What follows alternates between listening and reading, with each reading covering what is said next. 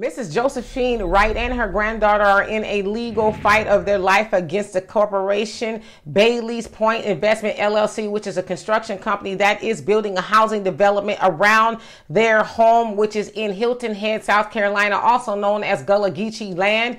And that property has been in Mrs. Wright family since the Civil War. And that construction company has said things like, oh, she don't even own the property, which is a lie, right? They've also encroached upon her property, tearing things up and things like that. And so they want her to move so that they can have her almost two acres so that they can continue building a housing development that will have 147 houses. But if they are successful in getting her land, I hope a big giant hole opens up and swallow up all 147 of those homes for them being so evil.